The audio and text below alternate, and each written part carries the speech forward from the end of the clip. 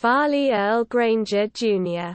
July 1, 1925 – March 27, 2011. Was an American actor. Best known for his two collaborations with director Alfred Hitchcock, Rope in 1948 and Strangers on a Train in 1951.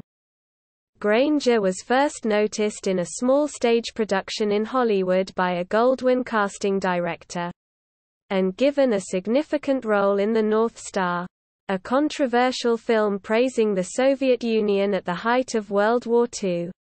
But later condemned for its political bias. Another war film, The Purple Heart, followed. Before Granger's naval service in Honolulu. In a unit that arranged troop entertainment in the Pacific. Here he made useful contacts, including Bob Hope, Betty Grable and Rita Hayworth. It was also where he began exploring his bisexuality, which he said he never felt any need to conceal.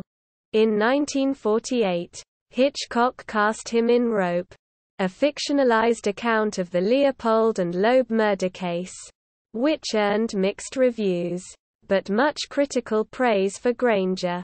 Hitchcock then cast him again in Strangers on a Train as a tennis star drawn into a double murder plot by a wealthy psychopath.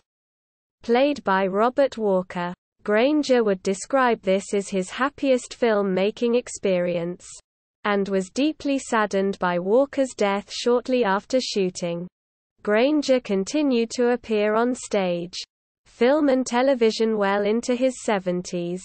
His work ranged from classical drama on Broadway to several Italian-language films and major documentaries about Hollywood. He tended to find fault with his directors and scriptwriters.